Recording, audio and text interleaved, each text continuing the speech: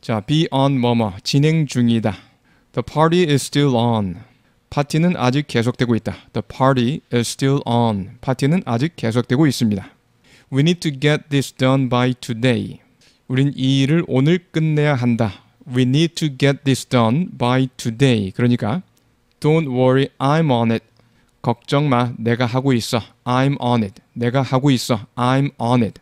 문맥에 따라서 내가 할 거야 이런 의미도 가능합니다. Don't worry, I'm on it. 걱정 마, 내가 하고 있어. 그 다음에 be on 플러스 약이 오면 뭐뭐를 복용 중이다. She's been on the pill for 10 years. 그녀는 피임약을 10년 동안 복용해 오고 있다. She's been on the pill for 10 years. 필은 알약인데요. 앞에 정관사 the를 붙여서 the pill 그러면 피임약을 의미할 수 있습니다. 물론 앞에 나온 알약을 가리켜서 the pill이라고 할 수도 있습니다. 그래서 문맥에 따라 좌우되겠습니다.